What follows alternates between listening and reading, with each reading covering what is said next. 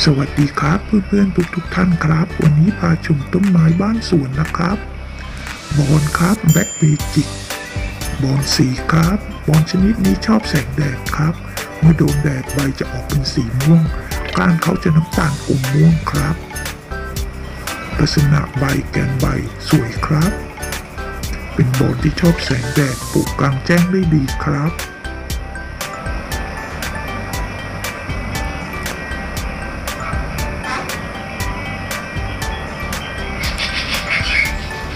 นี่คือน้องหอยครับ เป็นเป็นสัตว์ตัวเล็กๆ แต่สามารถทำลายต้นไม้ได้นะครับ เขาชอบอยู่ในกระถางบอลของเราครับหยิกินกัดกิน ก้านใบของบอลคงจะหวานน่าดู กินจนหมดไปหลายใบแล้วครับเขาก็เป็นสัตว์ชนิดหนึ่ง ที่ตัวเล็กๆที่อาศัยรวมอยู่กับเราต้องเก็บเขาไปปล่อยไว้ที่อื่นบ้างแล้วครับเพราะเยอะเหลือเกิน มีเกือบทุกกระถางเลยครับ เขาชอบอยู่ในที่แฉะที่ชื้นครับ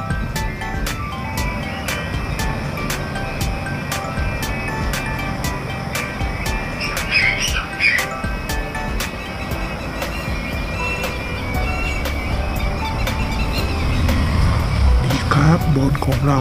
การของเราบอลนกกระทาของเรานะครับ เหลือเท่านี้แล้วครับ กินจนหมดแล้วแตกยอดออกมาลุมกินกันเลยครับ น้องหอย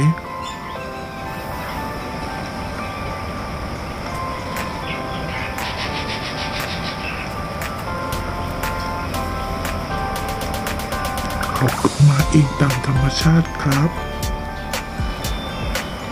เป็นธรรมดาของบ้านสวน มีสิ่งต่างๆหลาย ๆ อย่างครับ ชมตามภาพครับ สวยนะครับกระถางนี้ใบมีเสน่ห์เพชรน้ำหนึ่งครับ สายพันธุ์อากูนีมา ยังไม่ได้แยกหน่อก็เลยครับ แทงออกมาเต็มกระถางเลยครับ สวยมากๆ เห็นศกต้นเห็นไหมครับเห็นต้นเขาไหมครับ งามจริงๆ เป็นพืชที่ชอบแสงแดดลำไรครับ ชอบดินร่มซุยครับ ดูแลไม่ยากครับตัดกิ่งปักชำก็เป็นครับ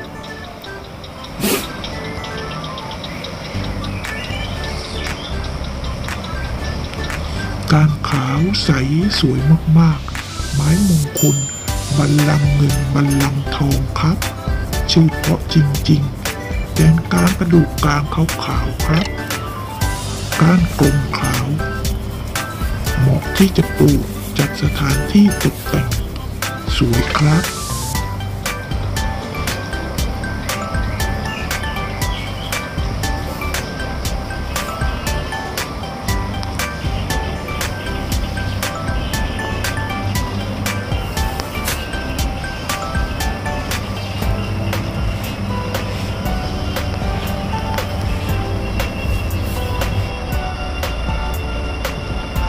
ต้นความตายหงายเป็นครับ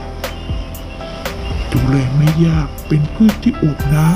ำใบหนาเกาะเปราะบางครับ ขยายพันธุ์ง่ายครับปลายใบที่ก็แตกยอดอ่อนสามารถเอานำไปปลูกได้เลยครับ ชื่อก็บอกแล้วความตายหงายเป็น ตัดใบเขาวางหงายไว้กับดินเท่านี้เขาก็งอกเขาก็เป็นแล้วครับ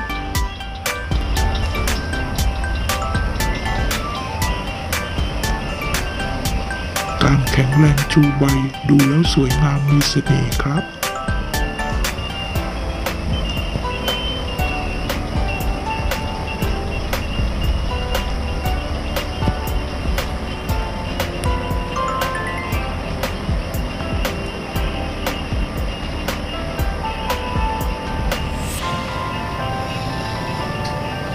จัดปลูกไว้ในกระถางห้อยไว้แบบนี้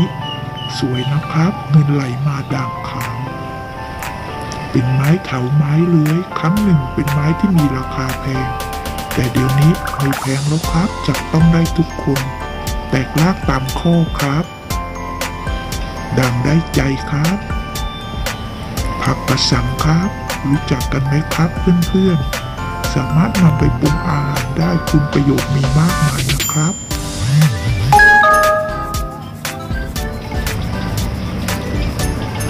ขึ้นเองตามธรรมชาติครับ นี่ก็งอกอยู่ในกระถางต้นปมของเราเลยครับ ลักษณะใบเป็นแบบนี้นะครับถ้ายอดอ่อนที่เกิดใหม่เป็นแบบนี้ครับ นี่คือผักกระสังครับกินแซมกับต้นไม้อื่นเลยครับ นี่คือฮกหลงสวยมากครับ ตั้งแต่หัวเขายุบตัวลงไปหกเดือนแล้วครับเพิ่งจะเกิด เกิดออกมามีก้านเดียวสวยมากๆเลย ขอบคุณทุกท่านที่รับชมแล้วพบกันใหม่คลิปหน้า สวัสดีนะครับ